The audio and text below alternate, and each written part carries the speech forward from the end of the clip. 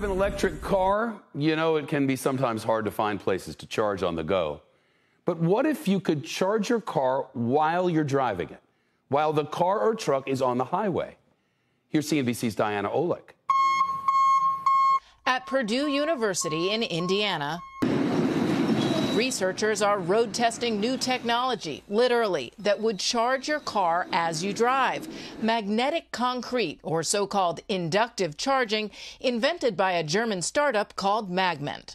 Magnetic meaning that when you use coils to generate magnetic fields, these magnetic fields would be focused to the vehicle so that we can get maximum charge transferred to the vehicle. The technology, he says, can be used in any road or floor.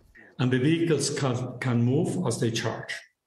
Very simple. Magment will soon begin using the technology inside on warehouse forklifts. But road testing both asphalt and concrete pavement is more involved. This experiment is designed to test the mechanical and the thermal properties of both these pavements because the system that we've included in it, the charging system, will generate some heat.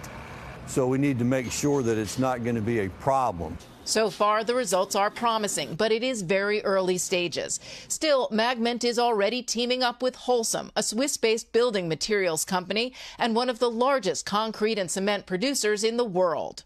The investment will come, that's for sure. Uh, obviously, at the very beginning, the, the DOTs or the, the authorities will see that, wow, there is a big challenge ahead of us. But it will, again, I repeat myself, it will it will come step by step. The vehicle batteries don't need to be changed, but a receiver coil does need to be added to pick up the power and transfer it to the battery. It can be used on any electric vehicle, cars, buses, trucks. Magment CEO says he's already in talks with major auto manufacturers and logistics companies. We believe that this can become a, a, a real um, game changer uh, to electrification of transport. So the idea is that just like an express lane, you would drive into the charging lane, which would charge your car and then charge you for the expense.